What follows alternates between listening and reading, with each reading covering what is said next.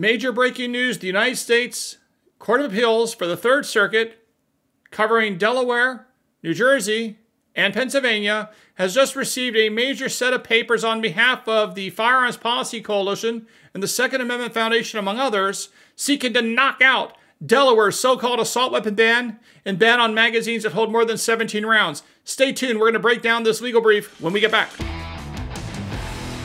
Hey folks, I'm Mark Smith, host of the Four Boxes Diner, proud American gun owner, constitutional attorney, member of the United States Supreme Court Bar, and author of the brand new best-selling book, Disarmed, What the Ukraine War Teaches Americans About the Right to Bear Arms. And don't forget to follow me on Twitter, if you're on Twitter, at Four Boxes Diner. A lot more Second Amendment content there, in addition to this channel. All right, folks, major breaking news. We have a major submission today by the Firearms Policy Coalition and the Second Amendment Foundation in the United States Court of Appeals for the Third Circuit. Now, keep in mind that the Third Circuit Court of Appeals is generally speaking, although not perfect, is generally speaking a reasonably good Second Amendment court to be in. This is the same court that en banc gave us the Second Amendment victory in the Range versus United States case that said that Brian Range, who was convicted 20 years ago of a state misdemeanor and thus turned into a quote unquote felon under federal law, that that federal statute as applied to Mr. Range was unconstitutional under the Second Amendment.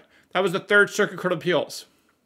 So here, in the case of uh, Gray versus the state of Delaware, and among others, the Firearms Policy Coalition, the Second Amendment Foundation, among others, have filed a brief arguing that Delaware's so-called assault weapon ban, which is really just a ban on semi-automatic rifles, and magazines that hold more than 17 rounds, are unconstitutional under the Supreme Court's relevant precedent, precedent of Heller and, to some degree, Bruen. Now, this should be a slam dunk. However, when this was litigated in front of Judge Andrews, I believe it was, in the United States District Court for the District of Delaware,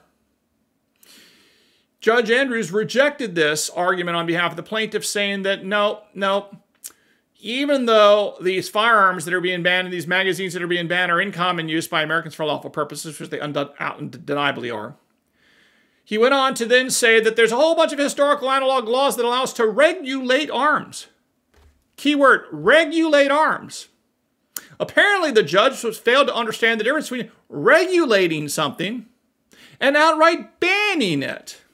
Because if you ban something, there's nothing to regulate now, is there? But apparently, looking at the lower court record here in this case, the federal district court judge used a bunch of historical precedents for regulating firearms and said that justified banning these semi-automatic rifles. Obviously an absurd ruling. Another judge out there that obviously failed to understand the clear language of Heller and its binding precedent on Heller, despite the fact that the district court judge is obviously an inferior court as defined by Article 3 of the U.S. Constitution. Nevertheless, the good news is we hope that the troops are here to rescue those gun owners in Delaware and their semi-automatic rifles and their magazines that hold more than 17 rounds. Because the argument, and I'll put a link to this brief down below, the initial brief has been filed, and guess what? It's making, by and large, all the right arguments. There's only a couple minor modifications I might have made to this brief, but overall, it's an excellent brief, essentially starting off with the obvious, that the Second Amendment plaintiffs must prevail in their challenge to Delaware's bans, to on, on commonly owned semi-automatic firearms and magazines because those arms, arms are in common use by law, for lawful purposes and thus are protected by the Second Amendment and cannot be banned. That is the Heller decision, which we've talked about repeatedly on this channel. Just as a reminder of what's being banned by Delaware, Delaware banned commonly possessed firearms, including quote unquote assault weapons, which is just a, you know, a political propaganda term for semi-automatic rifles and they also banned quote unquote large capacity magazines, which are also commonly owned by Americans, uh, because they hold more than 17 rounds. Now, most AR 15s that I'm aware of and AK 47s here in the United States, they generally take a magazine of 30 rounds. That's what is standard capacity. Anything below that, assuming you're firing 5.56 or 223 rounds, of course, guess what? That is really compelled by state laws that may require a, a, magazine of less than 30 rounds, but it's usually not the choice of consumers who are given the choice as to what they want to buy. Now, I should note that Delaware, I'm not going to get into the details of this because it's so absurd, but I want to say that some of the dangerous characteristics of these quote unquote assault weapons that the state of Delaware is labeled as a problem include things like a forward pistol grip. Woo! Boy, is that scary. A flash suppressor, which of course one needs at night if you're going to fire it in the evening in pitch black and you don't want to go blind for several seconds, which could cost you your life while the bad guy comes at you after you've been blinded by the shot. A grenade launcher or flare launcher, because obviously grenade launching and flare launching uh, is the source of many deaths in the United States, not every year. It also includes things like a pistol grip or a folding or telescoping stock, failing to recognize that the reason why you want a folding or telescoping stock could very well simply be because you want different people in the home to be able to use it, and different people are different sizes with different arms lengths, and you want to be able to make an adjustment depending on who is using the quote unquote family defense gun. Uh, no different than the old fashioned shotgun above the uh, fireplace uh, in old time America, where everyone would use that as uh, to defend the home, depending on who was home at the time. And of course, the scary pistol grip. This is all absurd, and this is what Delaware labeled as a quote unquote assault weapon. Now, we've talked about this before. The Supreme Court in Heller is the case that applies when a court confronts an arms ban case, whether it be a magazine ban or whether it be a rifle ban. And the Supreme Court says that the only historical precedent that might exist out there in any conceivable way for banning any kind of firearm is a law that existed, laws that existed that prevented the carrying of dangerous and unusual weapons. But the Supreme Court said that is a historical analog that shows that to the extent a weapon is not unusual, for example, meaning in common use by Americans for lawful purposes, it by definition cannot be banned as protected by the Second Amendment, period, full stop. Hello? That's what Heller said. But of course, this judge, Judge Andrews, conveniently concluded, in fact, that these firearms were generally in common use, and then went on to do this Bruen analogy, and then talked about various things such as, guess what? We've talked about it on this channel before, so called unprecedented social change or unprecedented technological change, all of which is stupid. Why?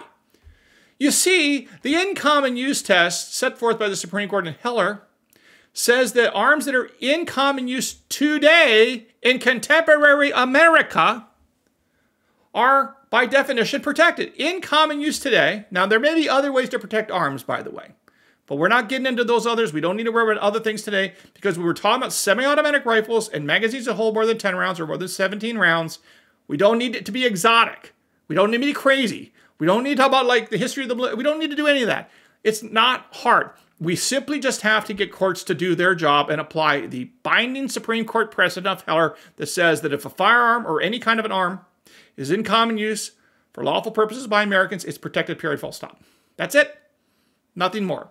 But of course, these lower courts, including Judge Richard Andrews in Delaware, try to use as an out the argument that unprecedented social change or unprecedented technological change somehow is a get out of free get out of jail free card when it comes to the in common use test and tries to talk about things like you know mass shootings and stuff like this as if this is new but we know this is hogwash why well let's just go through these quickly first before the Supreme Court decided the Heller case that created the in common use test, it didn't create it. It affirmed an existing in common use test from the Miller case in the 1930s from the Supreme Court. Guess what happened in 2007, right before the 2008 Heller decision? In 2007, in Virginia Tech, a single lone gunman using semi automatic pistols and magazines holding more than 10 rounds killed dozens of people at Virginia Tech. The Supreme Court was well aware of this because it was brought to their attention repeatedly by the gun control supporters on behalf of DC in Heller. And the Supreme Court was aware of this and still said, yeah, no, not relevant to whether or not the Second Amendment protects the rights of law abiding Americans. The fact that someone can misuse a gun or misuse a car or misuse a knife or misuse a cup or glass doesn't matter. We don't measure constitutional rights that way. We focus on how law abiding Americans use them. So Heller decided the in common use test, use test, which is still the binding precedent on these lower inferior courts, even though some of them, like Judge Andrews, seems to be ignoring them. You cannot say that modern semi-automatic firearms that hold more than 10 rounds or 17 rounds uh, or any of these things are unprecedented social change or unprecedented technological change or anything like this in the context of gun ban cases. Because all of these events that the anti gunners in 2023 are saying unprecedented, whether in terms of society or technology, all this occurred before 2008. And there's certainly nothing new in this sense today. Again, you had mass shootings before 2008's Heller decision, including Virginia Tech. You had school shootings and school mass murders going all the way back to the founding, the founding period, where uh, school teacher Enoch Brown in Pennsylvania, or modern day Pennsylvania, and his dozen kids were all massacred by Indians. So they're aware of the dangers of schools being attacked in mass murders. We also know of the Indian raids that were so ubiquitous that during the Heller oral argument, Supreme Court Justice Anthony Kennedy literally asked the lawyer for the for Washington D.C. who was supporting the gun control. Justice Kennedy says, "Well, didn't the founding fathers need firearms for all sorts of purposes, including to defend themselves against criminals, Indians, wolves, bears, things like this?" So Justice Kennedy got it right right there at the oral argument in Heller. Obviously, all true. And let us not forget what I've talked about in this channel. This is one of the things I might have done to improve this particular brief, which I think was a very good brief, but I might have added to it, is the Boston Massacre, obviously at the start of the American Revolution, where you had, you know, eight Americans shot and killed in a mass shooting in Boston, where the Brits were represented by John Adams, our founding father. I might have specifically mentioned the Boston Massacre in this brief. I might also have specifically mentioned the school massacre at the time of the founding of Enoch Brown.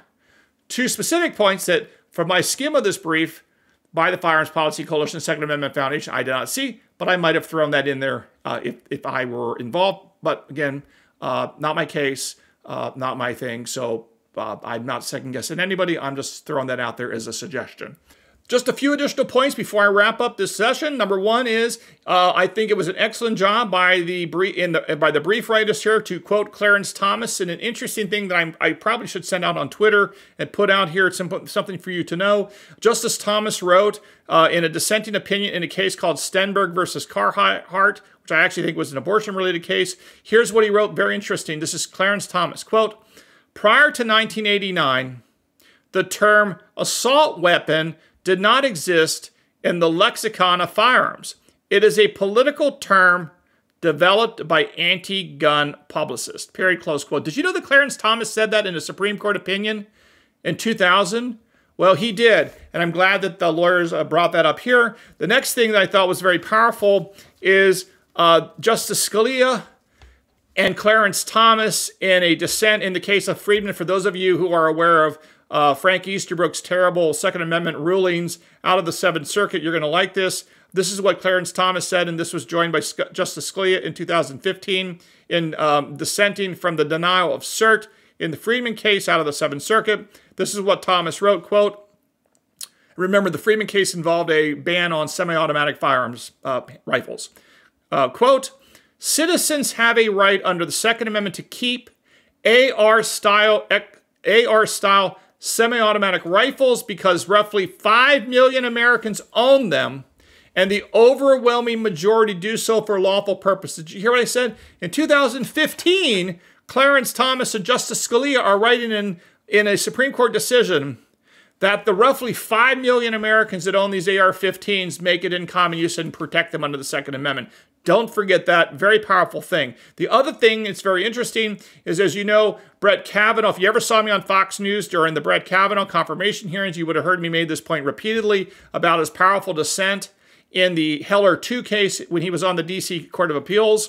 Uh, this is what Brett Kavanaugh, when he was Judge Brett Kavanaugh, before he was Justice Brett Kavanaugh, wrote about the AR 15 and Heller 2's dissent. He wrote that America's, quote, most popular semi automatic rifle is the AR 15. And by the way, uh, uh, Brett Kavanaugh in that concluded that AR 15s are protected arms under the Second Amendment and that Heller 2 dissent. The only other thing I might have done, uh, I don't see it in this brief here, but I might have added to this brief, uh, food for thought, is don't forget that the ATF itself in their regulations on things like frame and receivers, if you actually look at it, it specifically has a sentence in there, which I reported on this before, where they literally say the AR 15 is the most popular rifle in America. And I think quoting the ATF in a brief like this is a good idea because the ATF is the quote unquote experts ha ha ha. Uh, but you know, people can perceive of them as the experts, and certainly if the ATF says AR-15s are the most popular rifle in America, well, I think you can take that to the bank. Even the anti-gunners have no choice but to accept that because obviously that's the case. That's why they keep complaining about the AR-15 and too many AR-15s